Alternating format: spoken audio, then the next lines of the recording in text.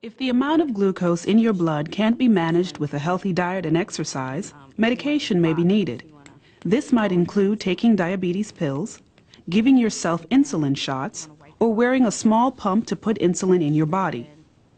The decision about which form of medication is best has to do with the type of diabetes you have, how long you've had it, your blood glucose levels, other types of medicines you take, and how healthy you are in general. It's important to understand that taking diabetes pills or insulin to manage your diabetes is not a sign of failure. It's a sign that you are doing what you need to do to keep your body healthy. So think of it as a balancing act. Exercise, along with possible medication, lowers your blood glucose level. Food raises it. Your goal is to balance food with exercise and possibly medication to keep your blood glucose level within your target range.